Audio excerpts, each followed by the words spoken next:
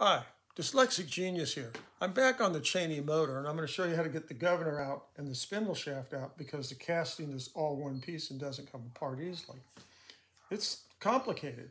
First you have to undo this nut here. I just used a small crescent wrench. And then you have to undo this nut, which is a spindle shaft bearing, to get all this out. The spindle shaft has to come up and the governor drops out of the bottom. So what first you're going to do is you're going to undo this screw. And this is very ingenious on a motor, where if you had a loose spindle bearing, you could just machine a new brass one or an oilized brawn bearing. So you pull this out. Very interesting. That cool?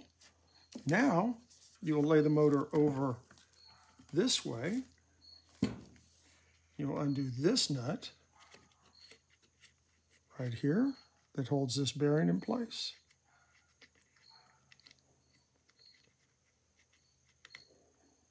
So we've taken two nuts out. And you'll slide the governor up. You'll pull this bearing out. And if you're lucky,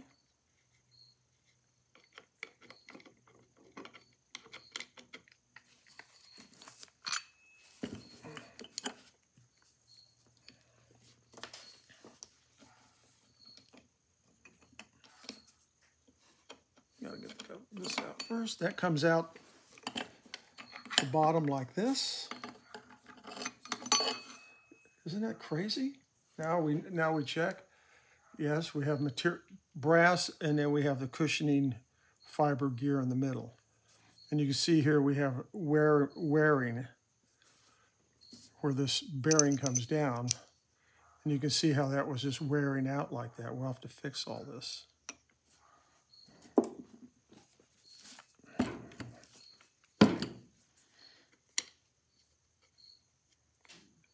Take out that screw.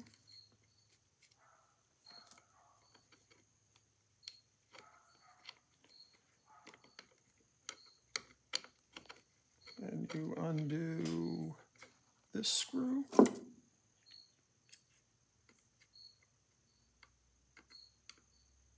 This which holds the governor in place. It holds the flywheel and all this assembly in place.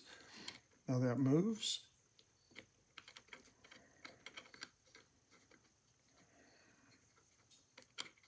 And now the governor shaft slides out just like that. Oh, you wait till you start to assemble this thing back. You want to make sure, okay, I have all the screws, and then I have this end bearing